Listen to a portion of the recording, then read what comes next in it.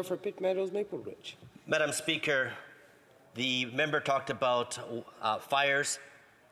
We've heard from the situation, the fire in Jasper, that there was a controlled burn that was recommended, and there was political pushback within the Liberals saying, saying that, uh, well, this maybe we don't want to do this. Why? Because it goes against a narrative of, of climate change. When in fact, wildfires uh, cause about one third or of the pollution of the carbon of carbon emissions in the world. So, Madam Speaker, I'll just say this right here in closing: is that when you tax the, the trucker who brings in the food, and you tax the farmer, hundreds of thousands who grow the food, and tax the and tax the uh, grocer who sells the food, it's the consumer that pays for it, and the Liberals are totally out of touch.